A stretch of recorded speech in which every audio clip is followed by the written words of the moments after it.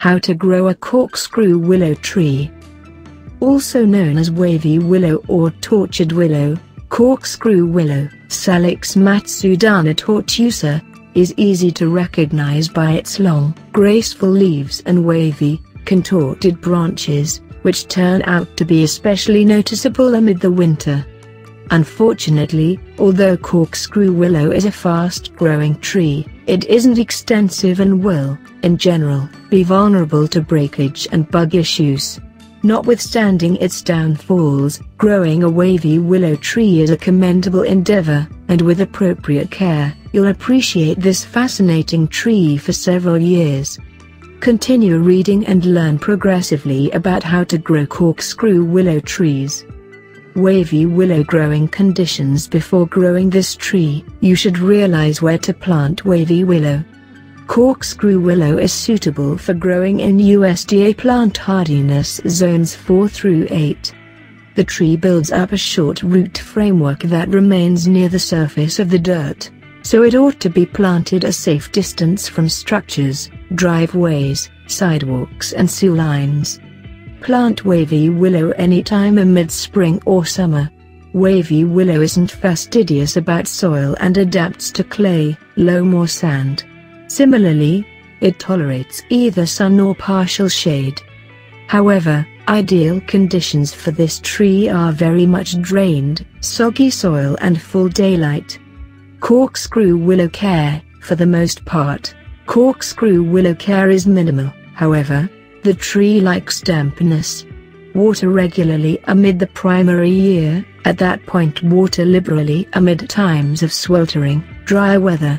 8 2 to 3 inch layer of mulch will help keep the dirt damp, helps hold weeds within proper limits, and shield the storage compartment from damage by weed trimmers and lawn mowers.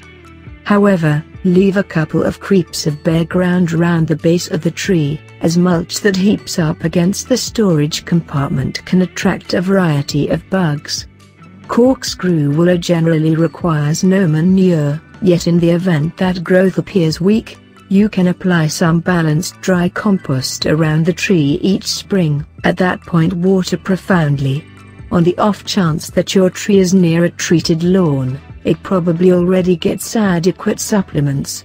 Prune corkscrew willow regularly to allow air and daylight to enter the focal point of the tree, as a healthier tree free of damaged or dead branches is less inclined to creepy crawly damage. However, issues to watch for incorporate bugs, for example, aphids, borers, wanderer moths and willow creepy crawlies. How to treat willow scab Willow scab disease causes just minor damage to your trees in the event that they are healthy. However, repeated contaminations may moderate a willow's growth and diminish its energy. On the off chance that you are pondering about whether viable willow scab treatment exists, you'll be happy to hear that it does. You can control willow scab on your backyard willows with a combination of good cultural practices and chemical applications. How to treat willow scab with cultural practices. To begin with, you'll have to trim out all of the tainted parts of the willow tree, including stems and twigs. Keep in mind to clean your pruners with a bleach and water blend to avoid spreading the organism.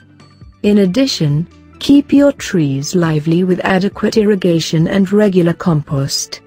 The disease does considerably less damage to healthy trees than vulnerable ones. Finally, legitimately planned fungicide applications can be part of your willow scab treatment. This is especially important if your tree is also tainted by the black canker parasite.